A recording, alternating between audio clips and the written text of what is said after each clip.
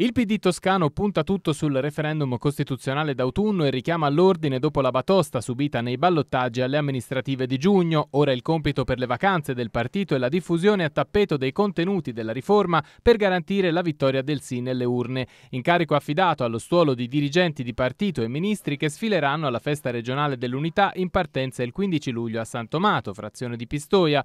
Una festa di periferia a cui parteciperanno tra gli altri i ministri dei beni culturali Dario Franceschini Salvini e dell'istruzione Stefania Giannini e che sarà chiusa il 7 agosto da Maria Elena Boschi, ministro per le riforme.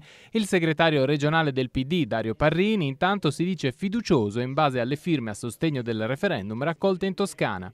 Credo che supereremo largamente le 40.000 firme, saremo a circa 50.000, quindi un numero molto molto, molto molto alto, però ancora stiamo finendo di contare, non posso essere più, più preciso. Lo spettro delle divisioni interne al PD in ogni caso resta ed è una spada di Damocle anche in vista della scelta dei candidati sindaci per le amministrative del 2017-2018 che rinnoveranno i vertici di comuni come Carrara, Pistoia, Lucca e Siena. Abbiamo un problema di divisioni nel partito che io stesso ho denunciato in maniera forte sia tra il primo e il secondo turno sia all'indomani dei ballottaggi generalmente andati male in Toscana queste divisioni purtroppo sono dirompenti talvolta sia che si facciano le primarie sia che non si facciano. L'autunno del PD anche in Toscana si preannuncia già bollente.